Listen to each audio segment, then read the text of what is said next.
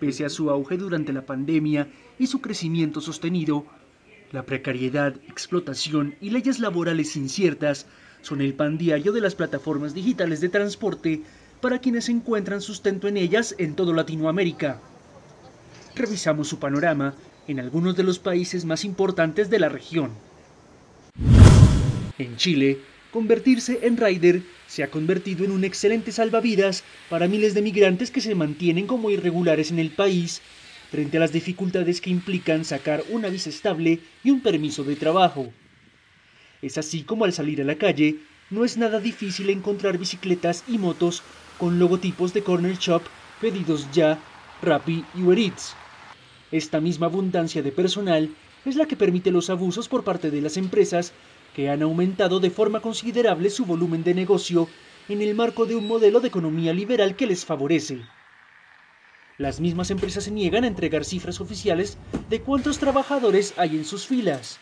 Mientras tanto, la mayoría de estos se rigen por la llamada ley Uber y la 21431 que modifica el Código del Trabajo y establece normas comunes para todos los trabajadores, sean asalariados o independientes.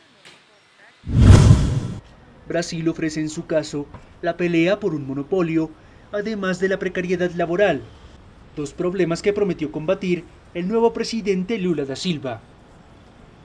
Según la Escuela de Negocios Fundación Getulio Vargas, en este país, que representa la mitad del mercado de entregas a domicilio de comida en Latinoamérica, el 80% de este se encuentra en poder de la empresa local iFood.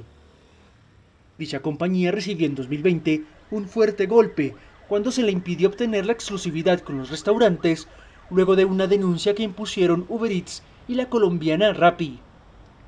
Es que el botín es grande, pues las ventas de comida a domicilio en Brasil alcanzaron unos 7 mil millones de dólares en 2021, el 20% de toda la facturación del sector. Pero pese a todo el flujo de ganancias, los riders denuncian explotación con largas jornadas de trabajo y sin reajuste de tarifas para ellos en los últimos seis años. A su vez piden que las empresas se hagan cargo de su seguridad social. Mientras tanto, Lula está decidido a impulsar una propuesta para que las empresas pasen a reconocer a todos como trabajadores convencionales. En Argentina, el 76% de la torta del mercado del delivery lo tiene la empresa Pedidos Ya, la cual aprovecha el auge que estas plataformas tuvieron durante la pandemia, como lo cuenta Gonzalo Otaviano, responsable de encuadramiento e inspecciones de la Asociación Sindical de Motociclistas, Mensajeros y Servicios. Lo que nos comentaron muchos este, empresarios del sector gastronómico es que ellos lo instalaron en la pandemia, digamos, empezaron a utilizar el servicio de, de pedido ya rápido de estas aplicaciones, es muy difícil volver atrás.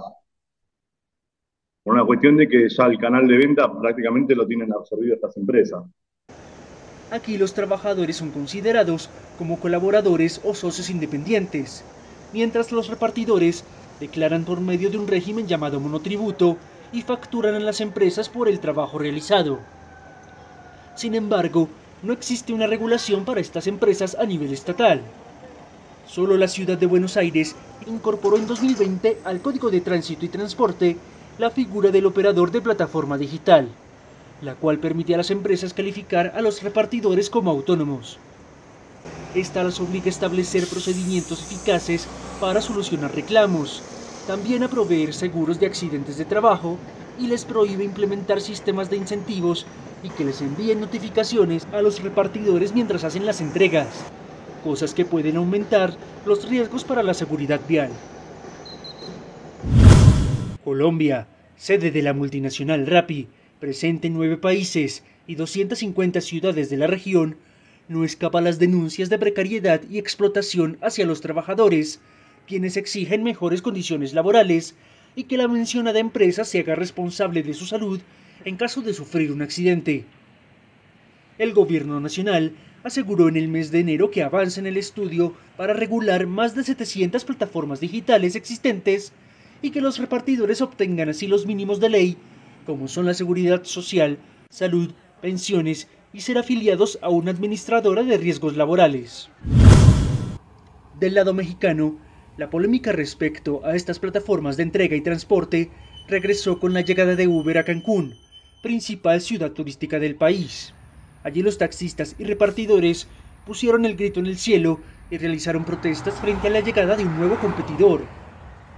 Mientras tanto, el gobierno se hace al margen y le lanza la responsabilidad a los estados para regular las aplicaciones, que sí son tenidas en cuenta para aumentar la recaudación tributaria.